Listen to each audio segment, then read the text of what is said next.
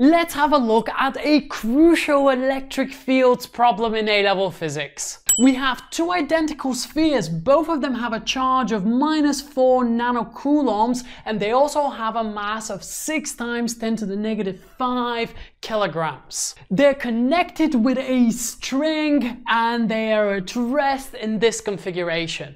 What we need to do is figure out the angle theta. Okay, well, what is actually happening in this problem? How are the forces balanced? First of all, there's going to be three forces that are acting on each individual sphere.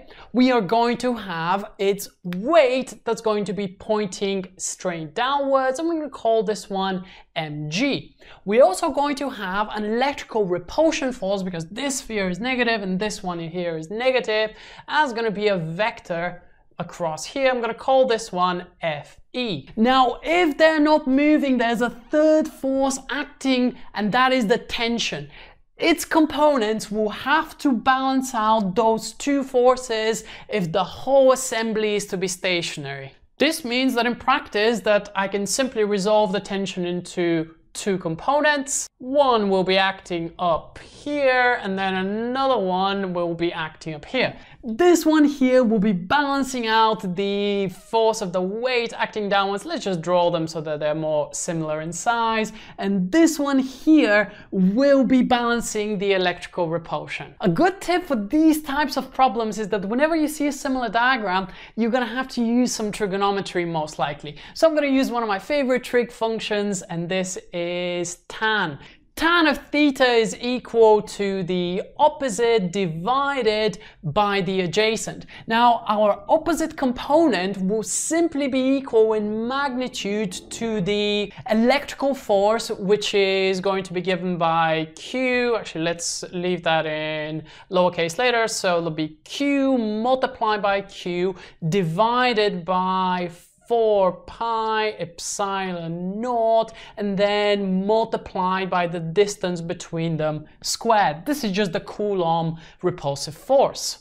Then we're going to be dividing that by the adjacent and this component here will be equal in magnitude to the weight so the charge is just going to be 4.0 times 10 to the power of minus 9. Then I'm going to be essentially squaring that. Then I'm going to be dividing this by 4 pi times 8.85 times 10 to the power of minus 12, that's epsilon naught.